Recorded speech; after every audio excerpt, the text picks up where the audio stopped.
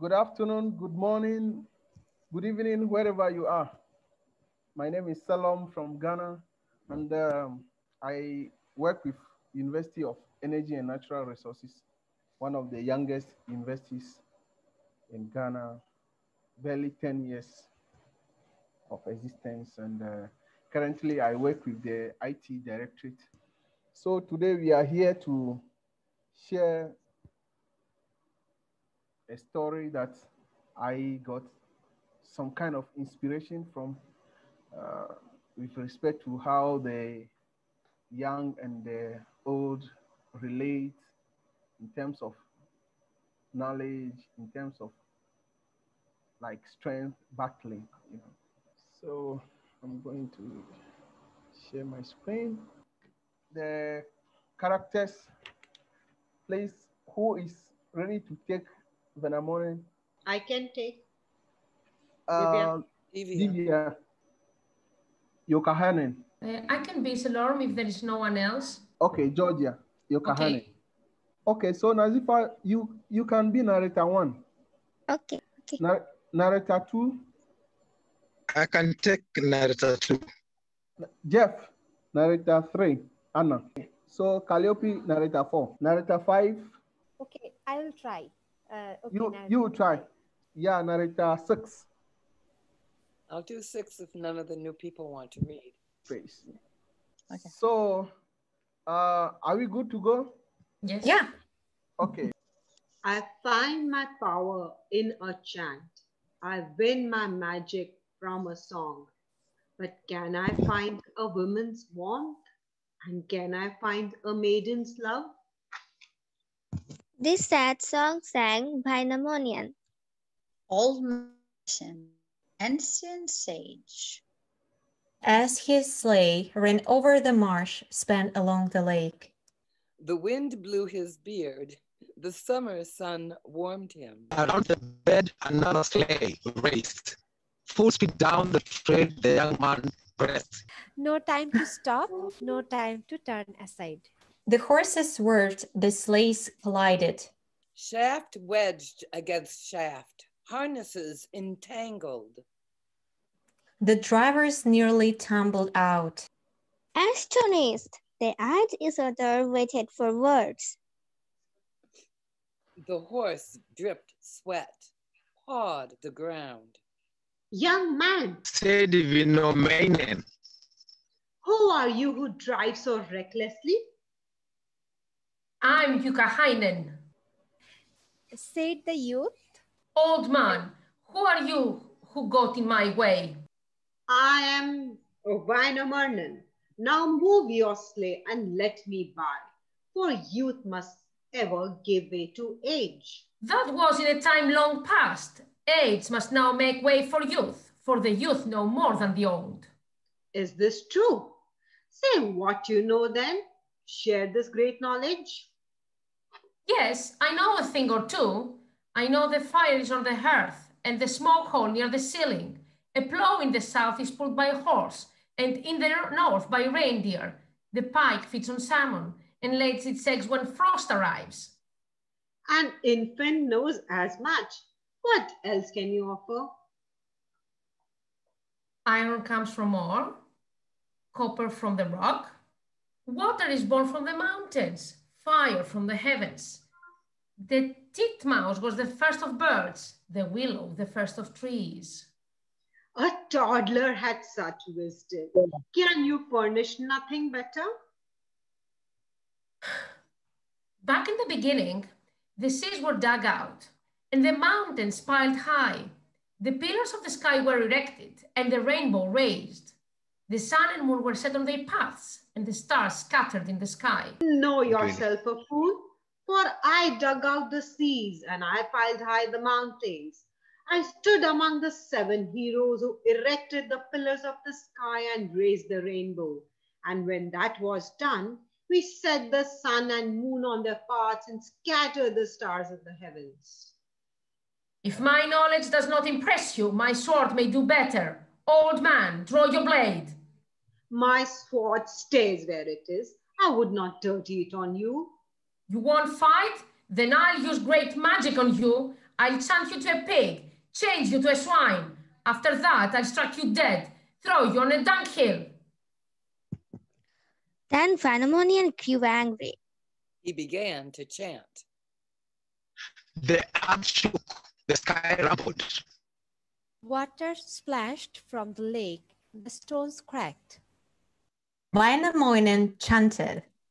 And the sword of Jukahainen became lightning bolts across the sky. His crossbow turned to a rainbow over the lake. He arose to hawks overhead. Wainamoinen chanted. And the sleigh of Jokwanen became a log in the water. His horse turned to a boulder on the shore, his whip to a reed on the bank. Wainamoinen chanted. And the coat of Jukahainen became a cloud in the sky. His hat turned to a water lily on the lake. His bell to a snake among the reeds. Wainamoinen chanted. And Jokwanen sank in the marshy ground. Up to his waist in the shallow earth. Reverse your words, undo your spells. I will give you a hat full of silver, a helmet full of gold. Keep your wealth. My coffers overflow. He chanted again, and Youkahainen sank to his chest. Reverse your words, undo your spells. I will give you fields for plowing, meadows for pasture. Keep your land. My farm stretches beyond sight. He chanted again, and Youkahainen sank to his chin. Reverse your words, undo your spells. I will tell you of the fairest woman, the finest maiden. Wainamoinen stopped his chant. She is lovely Isla, maiden of Northland, daughter of age-old Louhi. She's called a blossom sweet to smell, a fruit ripe to pluck. Her fame spreads far, the suitors gather, but no proposal has he smiled on, no suitor given the nod. Then Wainamoinen chanted again. It but his words and did spells. Jukahainen rose from the marshy ground, up from the shallowing, uh, shallowing earth. The cloud became again his coat. The water lily turned back to a hat, the snake to a, bill, a belt. The log became again its leg. The boulder turned back to a horse, the reed to a whip. The lightning became again his sword. The rainbow turned back to a crossbow, the hawks to arrows. The young man wept in shame. The old man raced for home. Very good, Salor, very good. Wow, I like this. Nice Love one. that story, huh? Yeah. I absolutely love this experience. What did you think of the story, Anna? Honestly, I was so concentrated on my part and the words, but uh, it's really meaningful uh, gap between uh, the young and the adults. Um, of course, it's big, but we all will be there in our time, and uh, we have to keep in mind that we don't have much wisdom like adults have and the elder people have, and um, we we all we can do is respect each other. This is actually the case many times. I mean, young people have a conflict with older ones because they uh, do not understand that maybe older people do have a bigger package, okay? And um, like they're the young ones are being arrogant at times and they think they know everything and they question that like the older ones know. Um, and that was a good way to uh, to show like to show what he knows best okay and to put the younger one um in his place okay um used- okay the younger one used power he tried to be fierce and vindictive and then the older one would just like do something and he would start singing. So it, it was a very beautiful story. I really enjoyed it. I mean it just came to me while we were about this again. It, it was a, it was a, a script that uh, brought me back to Middle Ages, uh, to Fantasyland, to uh, the Lord of the Rings something, the way it was uh, structured. The only thing that uh, a bit disappointed me was the fact that the, the end was really, you know, abrupt. It came like that, and then maybe it is for us to proceed and think what will happen next but I really liked it. I really liked it. Love is very important, whether you are old or young. And it was really interesting. And when the last uh, sentences, the narrator six and narrator one was saying, I just was waiting for more and I wanted to have more about this story. I was really in this story and enjoying it. Well, you know what's really cool about being in a GMRT is that you can now take that story and move it along a little further. What do you think might happen now?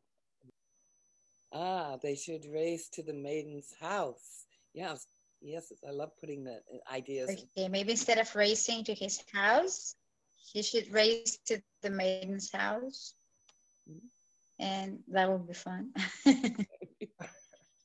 but uh, did he knew about? Did he know about the rest, the trace of the maiden's house? What I was thinking, both of them would rush to the maiden's house, and then again they'll have a clash over there. So in the first round, the old man wins. In the second round, the young man would win. Because yesterday what we did with my story was about how important it is to take a child's point of view. And today we are doing an antithesis so i think this is a very perfect thing you know because it's in the end you just realize that we have to value each and everyone's opinion and age doesn't matter i think. Yeah. Um so uh georgia mentioned that love is important not always material things you know i when you read further the story, you can see that the old man was really yearning for a companion. He wasn't having a companion, so he was yearning for a companion. So when the young man promised giving him the maiden, oh my God, he was damn crazy. He quickly reverse the chance. And that, that is a way of like revoking your chant or your curses. Some parts is a curse or it's a magic that is cursing on the young man. But when the young man pleases him with a maiden, how happy he was because he, he, he had everything because he's, he's one of the most powerful magicians of that time. So he could do everything, but yet he was alone. He couldn't get anybody as a companion. So the young man, knowing that this man is alone and this is what will please him, use that to appease him at the end. So I think in one way or the other, when our parents, you know, when they are mad at us, we appease them in one way or the other. This is a long, this is an epic um, piece of work. This is just a little short. Yeah, a little lifted out of it, isn't it? Yeah. yeah. So we don't really know. There's more to the front and the back of it. We just don't know what that is. Yeah. Lorne, when you mentioned uh, companion, it brought uh, to me, to my mind, uh, actually Frankenstein, where the creature asked uh, his creator to make a, a woman for him. So that would uh, make him happy, nothing else. Even when he was hated by the whole world because of his appearance, if he had a companion, he would be happy. So companion, that, that's what brought me uh, to my mind. How, how do we feel, the young ones, how do we feel? How do we see our elderly people sometimes? think as a youngster, and I'm just thinking uh, actually of an incident more recently with my grandson and my son who grandson is is going to be turning 18 soon as a senior in high school is doing wow. a lot of bodybuilding you know and all that well the other day he decided to challenge dad now oh. my son isn't all that old, but he has a lot of physical ailments with his shoulders and his back and everything. But I'll tell you, he put my grandson down, you know, he did. And um, and after that, there's a realization of m- more respect, I think. Okay. He challenged, he lost my grandson, but he, um, uh, my son wasn't wasn't like you see you see now don't do this again but it was it was a it was a lesson learned but not pushed in on and uh, after that was it was over you know? So and we all come up to periods of time when somebody's going to challenge you and sometimes that challenge has a validity to it. And why i think it's important to listen to everyone even if they are young because their ideas often have a great deal of validity to it Tracy, you brought up just a really meaningful topic to discuss for our discussion uh, because um, I was like that before. I thought that I have to be always right and I can't make any mistakes. I have to know everything, every word, and etc. As I'm as far as an English teacher. Um, but then now I uh, I'm not ashamed to say that. Oh, I'm sorry, I didn't know that, but I will uh, look up this word or let's do it together. I just try to show them the way how they can do it by themselves so they can uh, find the word, they can uh, learn more about this word, word or even the platform as we are in the remote way of learning. Uh, now we are discovering lots of Edu tools online. And um, I'm not ashamed to say that I don't know. It's a very interesting, a very good topic. Um, and it's it uh, the respect for the older people. Uh, I mean, uh, is uh, a cultural thing, and uh, every society has a little different uh, emphasis. I I remember many years ago when I was in Africa, there was much more respect for the older people than maybe in the American culture, and but see, at the same time, I've had different people over the years, you know, work for me. And I, I remember one young person, and uh, he was always asking questions and he was always kind of challenging. And I, it was, as a young person, was his way. I, it, I, I, sometimes I uh, thought about it as being uh, as cooperative. And but it was what he was doing was he, he didn't understand something or needed to learn something. And the way he did it was by uh, uh, you know asking a lot of questions and uh, not agreeing uh, with what you know was questioning what you know what needed to be done next and it was just his way of asking for guidance as to uh, uh, what what it was, uh, and it was kind of interesting. But each uh, individual has a you know there's always that I guess conflict or uh, between the young and the old, and uh, maybe that conflict is basically the young people trying to understand and to grow and to learn. Well, you know, Blaze, yeah, I always say, I always say, learning can't happen if we don't ask questions. That, that is yeah. that is the whole beginning in the matrix learning cycle is well, asking questions. one of the things that I've noticed is because of my education being online, it's uh, you know on, on the computer, and a lot of the, especially the older teachers, they have a certain amount of uh, they, they don't know as much as the young people about the computer about technology and uh, so uh, there's a tendency for uh, the older teachers to kind of resist the use of technology because their students often will know more about it than they and the teachers used to being the smartest person in the room. that's their normal position. and when that's challenged, they're, uh, uh, shall we say, uncomfortable. And uh, so that's uh, uh, uh, kind of an interesting dynamic that is currently occurring. I was listening to Anna and her stories. You know, somehow it relates to all of us going through an experience of real life, experiencing each thing, learning from our experiences.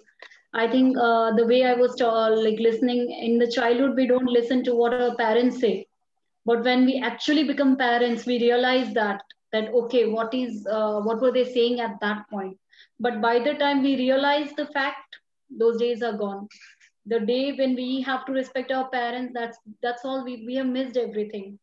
And so what i realized is yes both the generation has to change according to me what happens is when i'm in a classroom of 10 standard now being a teacher what i generally do is i look at my students in the way i was in the class while teaching. So you know i understand their emotions like if i was that child how would i have reflected to this question? If the child is not speaking I relate it with one of my friend who was not speaking in the class. So it, it becomes uh, very easier for me to manage my classroom, uh, becoming a friend to the students rather than becoming a commanding teacher. That actually helps me a lot.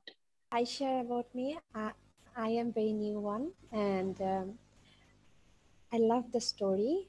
Uh, the pronunciation was uh, a little different and new but the uh, deep meaning yeah it was really very heart touching and uh, yes always old is gold and we will always respect old people they're our pioneer thank you um i think uh, time is running out and uh, we would like to end the session here i want to take this opportunity to thank all of you for your time.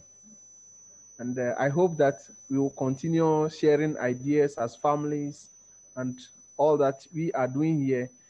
We are doing it for the good of ourselves and for the good of society so that we'll be able to transform society. Thank you very much. Yeah, and thank you. Uh, you, you uh, the, the topic of the young and old was an excellent topic. Thank you for bringing it up. Thank you. Too. So I want to thank people for coming to our open GMRT Global Matrix Reader community. Shalom, thank you. Thank you for your support. So, Thank you. Akpenali. Hmm. Thank you. Bye.